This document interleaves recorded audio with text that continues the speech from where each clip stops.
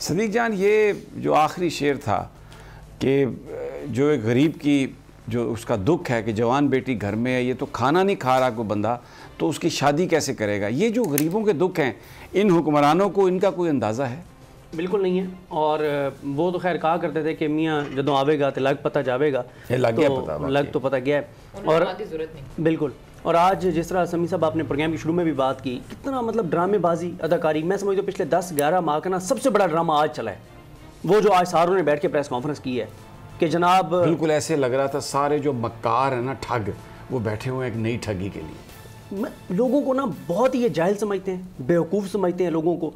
देखें समी साहब अगर जो आपने अपने इंटरव्यू में भी कहा था अगर शबाज शरीफ सीरियस थे सबसे पहला ऐलान ये करते हैं कि आज से मेरी काबीना से बीस रुकनी होगी। पहला ऐलान ये करते और जो टीटियाँ लगी थी जो वो चौदह पंद्रह अरब है उनमें से आधा जो है ना वो मैं वापस दे रहा हूँ। बिल्कुल। देखें आज जो इन्होंने काम किए हैं तो ये मतलब शोबाजियाँ ड्रामेबाजियाँ अदाकारियाँ पहले इन्होंने जी हफ़्ते की छुट्टी खत्म कर दी फिर बहाल करनी पड़ी। अब जी सुबह सात बजे दफ्तर खुलेगा। समी साहब सात बजे दफ्तर खुल सकते हैं? नहीं खुल सकता। मुझे बताएँ ये अच्छा इसमें सिर्फ़ ये क्योंकि शहबाज शरीफ बीमार आदमी है ये सारी रात जागता रहता है बीमारी की वजह से। तो ये सुबह उठ जाता है। ये इसके जो करीबी लोग हैं वो बताते हैं। तो ये समझता है कि सारे बीमार हैं, शायद सारे उठ जाएँगे।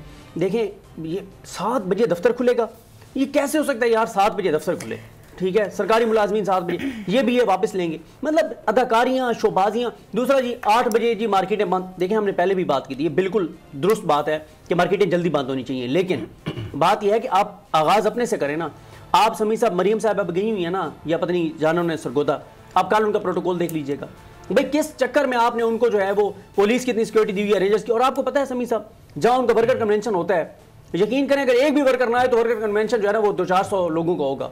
वजह यह है कि इस वक्त मरीम साहबा जहाँ पे जाती हैं स्पेशल ब्रांच के सिविल ड्रेस में बहुत से लोग होते हैं। वजह कोई चोर ना कह दे कोई डाकू ना कह दे कोई नारा ना लगा दे। यार खुदा का खौफ करो। लेकिन वो नारे तो लगते हैं। कई जगह पे मैंने देखा है सोशल मीडिया पे रिपोर्ट हुआ है वो मरियम के पापा चोर हैं मरियम के पापा चोर हैं वो तो नारे लग रहे हैं वहाँ और अभी ये पिंडी में नारे लगे थे।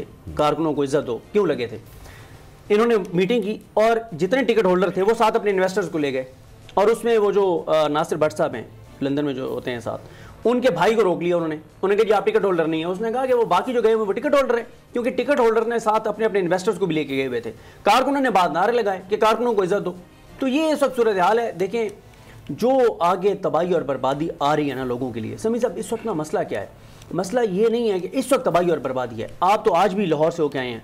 आप लोगों से बात करें, कोई एक पाकिस्तानी आपको ऐसा नहीं मिलेगा जो आपको बताया कि आगे कोई उसको उम्मीद की किरण नज़र आ रही है। कोई उसको नज़र आ रहा हो कि आपकी रियासत का जो है वो डायरेक्शन ठीक है।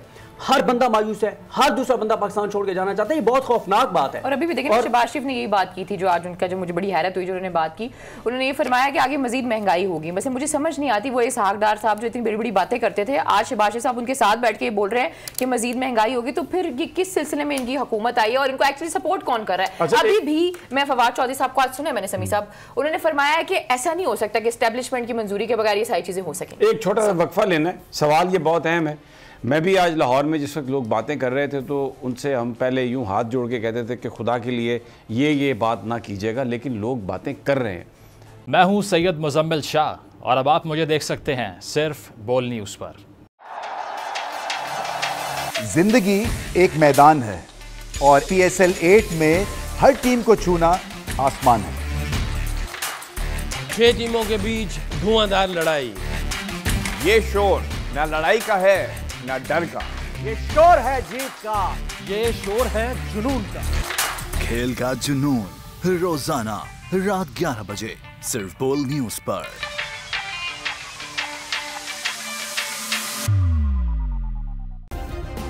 सब्सक्राइब करें और बेल दबाएँ ताकि कोई खबर रह न जाए।